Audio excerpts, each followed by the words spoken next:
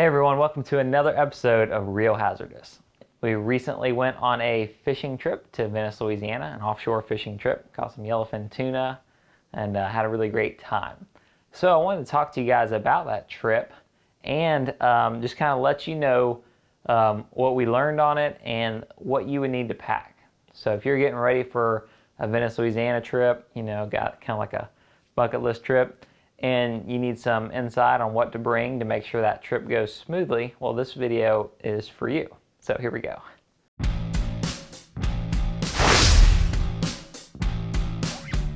So I remember I was talking to some friends about fishing in Venice, Louisiana, and they're like, oh yeah, we did that trip, great trip, had a lot of fun. And one of the first things they kind of told me was when bringing a cooler, bring more than you think you'll need because there's a lot of fish down there. We caught a bunch of tuna and uh, we even dropped down for swordfish. And swordfishing is really good in Venice, Louisiana. Uh, saw several brought in. We didn't catch any that day, but definitely a good possibility you'll get some. So you could get, you know, if you get a good sized swordfish and you caught some tuna already, you know, bottom fishing, snapper, you could have a lot of fish meat. So whatever, you know, you think you need, you might want to bring a little more. For us specifically, we brought uh, a 65 uh, quart cooler and that's what we brought all of our food in that we were going to eat while we were down there in. And then we also brought an even bigger cooler um, between me and my dad. So the food that was in that little cooler, you know, we were going to eat up and we could put fish fillets in there. Plus we had the really big one. And between those two, that kept us covered. And just for reference, we fished two days in Venice, Louisiana. Now, there were six of us on the boat and we put three people's tuna, you know, we caught 12 tuna between two days, and half of the tuna fit in that bigger cooler. Our other friends who came, they had their own coolers. So, but so just an idea, you know, roughly six tuna, around 40, 50 pounds, we fit in that big cooler. But if you get more fish, swordfish, you know, make sure you have plenty of cooler capacity. In line with that, you know, you're want to bring bags too. You get your charter, they'll probably tell you, you know, bring gallon baggies to put the fillets in. So make sure you pack a bunch of those gallon baggies. You know, maybe get a couple boxes. Uh, I don't know what they come in, like 30 something maybe, but have a couple of those ready to put the, the meat in. Now we also have a smaller, flexible, you know, insulated kind of like bag to put our drinks and food and stuff in. And you may want to bring something like that or just some bag to put that food and stuff in because it seems like a lot of the charter guys, you know, they'll have a compartment with ice. So you're not going to be able to bring just a big cooler and put it on the boat, especially if there's, you know, four, five, six of you guys splitting the charter. You don't want everyone just have coolers on the deck. You need to have that space. So have like a, a bag you can carry that onto the boat, dump it in there, you know, probably below deck fish box, and um, it'll make things a little bit easier having that. So if you're packing for this trip, you want to make sure you bring the right clothes, okay? First things first, bring yourself some rain gear.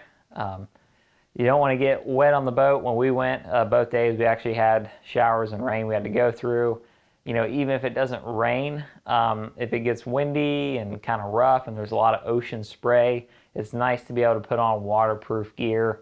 The water just roll right off you and you won't get cold or wet or won't be miserable on your trip. It definitely makes things a lot more comfortable. So I brought um, my kind of waterproof rain fishing boots. Um, had my fishing bibs and a waterproof jacket. If it were in the winter when it was colder, I would have brought my, I have a Mustang float jacket, which is waterproof and has insulation, keeps you warm, and it also acts as a life jacket. Um, just all around great jacket. Depending on time of year, you're definitely gonna wanna stay warm. Now, since this was kind of May and it was pretty warm when it wasn't raining, I brought my Go Walk kind of boat shoes, as I call them. They're like a like a water shoe, and they work really well on the boat. And it's nice when when you do get out there and it's hot, you can just take off your rain gear, slip on those shoes, and um, enjoy fishing in the warmer weather. Otherwise, make sure you bring uh, other normal fishing clothes. Um, you know, maybe a performance shirt, hat, sunglasses, um, bathing suit, whatever you normally wear fishing. And then, of course, pack clothes that you'll wear when you're not fishing. You know, when you get done afterwards, you might want to go out to eat or cook something up or, you know, just kind of those basic things you would pack with you when you went on a trip. One thing to know about Venice, Louisiana is it's pretty much a straight up fish town. Okay, there's not a lot going on. It's not a big city. you're kind of out in the middle of nowhere, which is nice. But that being said, anything you want to bring down grocery wise, you need to make sure you have before you get there. I think they told us there was this place, and it's basically 70 miles from Venice. It's like the last grocery store that they really have there. So, depending on what you're going to do, uh, if you're going to stay in a houseboat, for example, if you're going to be there for several days, you may want to bring food to cook. Um, we brought food to snack on and the stuff we were going to take on the boat with us. We brought a case of Gatorades, case of water, foods I like to bring on the boat. Like we brought some Hawaiian rolls and lunch meats so we can make sandwiches throughout the day. Uh, brought like granola bars, Clif bars, something. Those are good kind of foods to snack on. Fruit cups, cans of fruit. Uh, fruit's always a good idea on the boat because it's hydrating and plus you get that, that good energy from it. So make sure you pack uh, plenty of snack foods. You know, you're going to be on the boat if you're offshore um, 10, 12 hours. So if you got your trip planned, obviously you're gonna need somewhere to stay. You know, if you're doing multiple days fishing or just if you wanna get down there, stay in a place, fish, camp there that night, and then head back in the morning. So you got a couple options. There are a couple motels down there. I believe the Lighthouse Inn and the Venice Inn Motel. And I think um, the Venice Inn is roughly at this time uh, $90 a night. The Lighthouse is a little bit more. And then the other options are houseboats. There are a lot of houseboats in Venice. It's kind of like basically set up. Uh, it's like a little Airbnb or whatever you want to call it, little little motel, kind of your own private little house. Uh, we stayed in a friends of ours uh, houseboat for one of the nights, and it was really nice. It could fit you know plenty of people easily, six people, maybe more, depending on which one. And you had options, things you can cook. A lot of it had dock space, so if you're bringing your own boat down, the houseboat option may be good for you. And all in all, it was a nice setup. It's pretty interesting. We had a bad storm blow through that night, so you know the houseboat we were on is two stories, and and being up top, like all of a sudden I woke up, I felt we were we were rocking. It was moving us pretty good. So uh, that was an interesting experience. You won't have that if you're in one of the motels on land. But depending on the houseboat, you know, I think one of those was about 300 a night. I'm sure it all depends on which houseboat, who you get it through, stuff like that. But higher price, but if there's more of you splitting it, then it might be the way to go for you. So Venice, Louisiana is pretty much a fish town. Um, marshes, kind of middle of nowhere. There's a little bit of oil industry from uh, talking with the guys down there, but pretty much it's just fishing.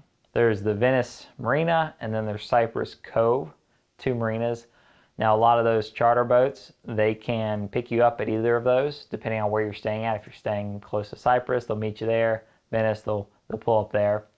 At the Venice Marina, where we met up, it's, you know, marina. Um, it's where you gas up, where you clean your fish and all that stuff.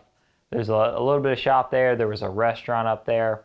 So if you, you know, want to eat out, don't want to cook your food, you can eat at that restaurant. Otherwise, Venice isn't a very big town. There's not a lot of options. Remember, there's not really a grocery store. You know, you're not going to go down the road and stop at a McDonald's or Chick fil A. Pretty good off the beaten path.